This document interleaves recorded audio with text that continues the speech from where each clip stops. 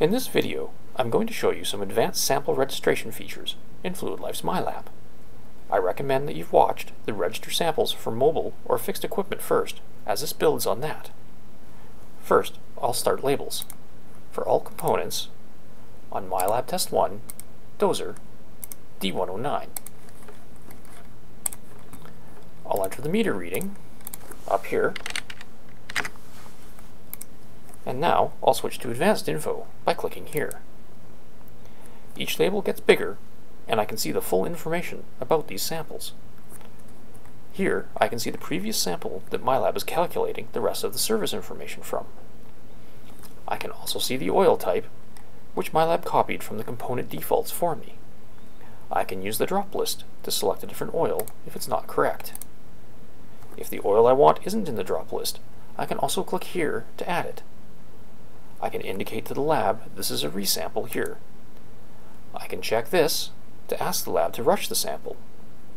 Over here, I can request additional testing. Note that the main contact will be called to verify extra costs from rushes or additional testing.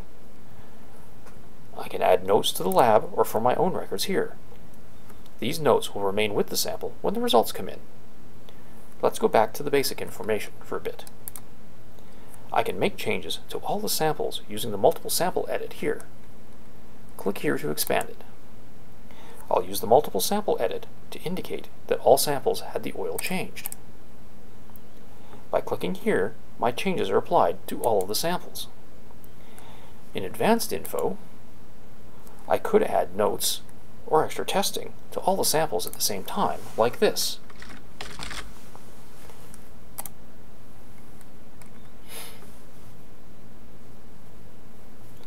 If I've got a lot of samples to work with at the same time, it may be easier for me to use the spreadsheet view. I'll switch to that by clicking here. I can now see all the sample information in a spreadsheet that I can fill in. By clicking on a value or blank, I can enter data. I can fill a range with the same value by entering the value in one row, here, and pressing enter. Now I'll click and drag holding the mouse button down to the end of the range. When I release the mouse button, I get a pop-up fill selection button, which I'll press. Now all of my selected rows are filled in for me. I can also filter, sort, and fill entire columns using the pull-down column tools here. Now I'll create these labels. Let's assume that I've printed these and given them to the shop to take. As part of my workflow, I can do this for all samples for the day or the week in advance.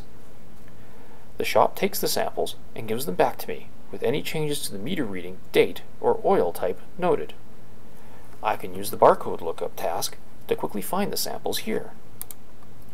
If I have a barcode scanner, I can scan the jar.